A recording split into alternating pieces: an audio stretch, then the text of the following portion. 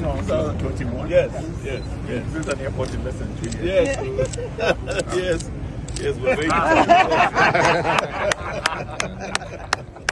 I hope you are recording this. yes, uh, There has never been an airport in the world built as far as fast as this this government has done. This is impressive. Thank you. Thank you. This is really, really Thank impressive. you. Thank you. Thank you. So what, what, what, what the location here? Um, um, as you can see, you have the Lagos Ibadan Expressway there, right there, yeah. and we came on the Shagamu Yeah. Benin Expressway. So So, access so it actually really in the, bang in the middle of Yeah. uh, two, uh, two super highways. And um, this place pretty much represents like the center.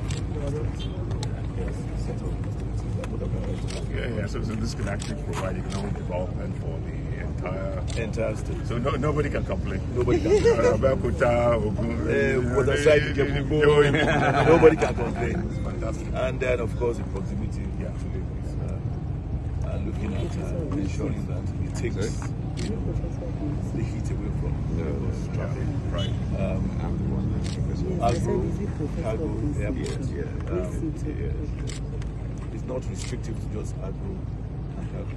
Um, of